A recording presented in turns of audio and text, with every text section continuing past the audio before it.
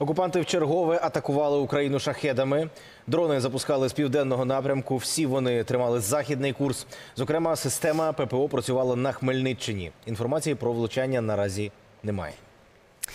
Долучаємо до нашої розмови Сергія Брачука, це речник Української добровольчої армії Південь, військовий експерт. Сергію, добрий ранок. Слава Україні, слава Збройним силам. Вітаю колеги. Доброго ранку. Героям слава. слава. Е, як у вас ніч минула на півдні? Слава Богу, 4-5-0, не було сигналів повітряної тривоги. Ну, як завжди, ми говоримо так військовою мовою, що в нас певна оперативна пауза з боку ворога. Розуміємо, що постійно в напрузі, тому що запускає ворог майже кожного дня шахеди саме з південного напрямку, то звичайно і маршрут може бути в тому числі і через південні терени, зокрема через Одеську область. Цього разу ні. Пам'ятаєте, що в нас була е, чергова атака кілька днів тому. На жаль, була загибла людина, були влучання. Тобто ворог знову атакував припортову інфраструктуру. Але сьогодні поки що тихо. Аби так було і надалі. Тихо ем, про ситуації теж на окупованих територіях хотілося б з вами поговорити. Чи вам щось про це відомо? От е, е, центр національного спротиву, зокрема, інформує про те, що на окупованій Херсонщині е, загарбники проводять рейди, шукають підпілля українське, шукають людей лояльних до України. Наскільки я розумію, ситуація змінюється. Тобто, так завжди було ось це ось, ось цей пошук тих, хто активно діє та навіть підпільно, але зараз ніби це посилюється. Ну не було спокою, кажуть нашим громадянам, що там залишилися. На жаль, за різних обставин від початку і від першого дня окупації. Наразі дійсно ворог намагається максимально сьогодні насичувати оборону на лівому березі Дніпра. То звичайно з'являються нові підрозділи. А для того, щоб забезпечити їх, в тому числі житлом, проводять так звані фільтраційні заходи. Ну, по перше, звичайно, мета найголовніша це виявити українське підпілля, виявити тих людей, які залишаються українцями, які, не дивлячись на ці обставини, все таки намагаються в тому числі допомагати збройним силам України, так чи інакше. Ну і власне шукають житло для того, щоб розмістити ті е, підрозділи, які перебувають е, на лівий берег Дніпра. Дійсно, ці заходи проводяться досить жорстоко і жорстко. І, ще раз кажу, дуже велике насичення саме на, на тому боці Дніпра. Е, Підрозділи є. Ну і звичайно намагаються ще раз кажу їх убезпечити. Ситуація досить складна. Е, Більше того, зараз е, масово намагаються організувати роботу щодо видачі так званих паспортів так званої Російської Федерації. Ну і звичайно, з цим пов'язано досить багато, багато таких неприємних ситуацій саме на лівобережжі. Сподіваються люди на збройні сили України на повернення нашого війська. Я теж в це дуже вірю. І єдине прохання до всіх наших, хто знаходиться на тимчасово окупованій території, бути максимально обережними. Це дуже дуже важливо. Е, коли ви говорите про е, накопичення сил на тому боці Дніпра, це ви маєте на увазі в районі Плацдарму чи е, в районі іншого напрямку Токмака? Взагалі ми говоримо про лівобережжя, в тому числі, звичайно, і в районі плацдармів, ті, що героїчно сьогодні утримують наші збройні сили. Більше того, наносять вогневе ураження ворогу. Причому це відбувається е, дуже ефективно. Просто суперово працює аеророзвідка, працює артилерія. Ну і власне ті підрозділи, які знаходяться на цих плацдармах, тому що ворог дещо намагається кожного дня фактично змінювати тактику. Е, Дуже активно працює ворожа артилерія, авіація. Ну і е, така родзинка, певна, за останні дні, що ворог на техніці намагається закидувати такі невеличкі групи десанту. Фактично м, робить це в тил наших підрозділів. Йому це не вдається е, після відповідної артилерійської підготовки, авіаційного тиску.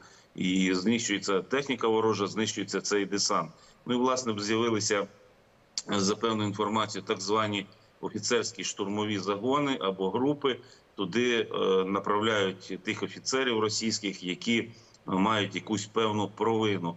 Так що в цих загонах можуть опинитися, наприклад, і начпрот, або офіцер якогось е, там е, іншого рівня або спеціальності. Звичайно, говорити про з одного боку якість цих офіцерських штурмових загонів не доводиться, але з іншого боку, е, такі підрозділи дійсно формуються. Ну, подивимось, наскільки вони будуть ефективні, тому що знищення таких загонів відбувається так само, як і знищення цих десантів. Ем, Щодо ситуації в Чорному морі, чи змінюється вона? Яка вона станом на зараз? Ракетоносії знаходяться в основному зараз в Новоросійську, в Севастополі 1-2 е, ракетоносії. Ну а на чергування вони постійно виводять до чотирьох кораблів. Е, Тобто є це бойове чергування, не дивлячись на погоду. Вона на сьогодні не є такою, наприклад, як була під час так званого е, шторму століття, як оголосили росіяни, але присутні. Присутні в Азовському морі, там десь буквально один корабель постійно знаходиться. Ну і ще раз кажу, ракетоносії в пунктах базування. А загалом е, про зими на Чорному морі. е, Наскільки вони придатні для ведення бойових дій, для виведення в моря в море кораблів? Бо знаєте, раніше е, море нас цікавило для курортів, а зараз е, чи зможуть росіяни вивести е, кораблі з калібрами? Ну, як ви знаєте, ще з часів давніх греків, я перепрошую, що про це доводиться згадати. Чорне море має як мінімум дві назви. Тобто починається сезон, коли море не досить ласкаве до до плавства. Ну, звичайно, в тому числі і ворожого е, флоту. Е, досить таки специфічна погода і штормить е, дуже часто. Сподіваюся, це буде нам на руку, в тому числі, як це було, наприклад, минулого сезону. Е, але не завадить е, в тому числі нашому морському коридору, експортному коридору, тому що це досить важливо. Але штормить, е, ну скажімо так, Чорне море, воно воно все таки на контракті в збройних силах має виконувати свою. Ну і добре, добре дає собі ради, я думаю, от в цьому. Та? 100%, особливо по Криму. Причину ви щойно сказали, це я про контракт. У нас буквально дві хвилини залишається.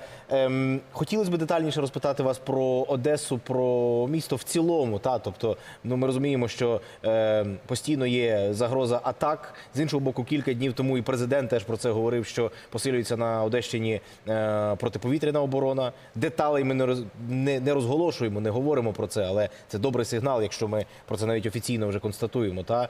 Як місто живе, як в цілому, чи відчувається наближення свят? Ну бо так чи інакше ми живемо попри все, і, і, і це теж такі людські моменти, які мають бути. Ну, по-перше, для наших дітей ми організовуємо в тому числі свята, і ну це зрозуміло, тому що заради цього б'ються всі наші військові збройні сили, всі інші підрозділи, які є в складі ЗСУ. Найбільше того, сьогодні наші хлопці з фронту приїжджають. Ми будемо вітати наших дітей з святом Миколая в нашому храмі Української православної церкви. Тому все, все буде добре. До речі, сьогодні будемо нагороджувати наших хлопців за е, бойові.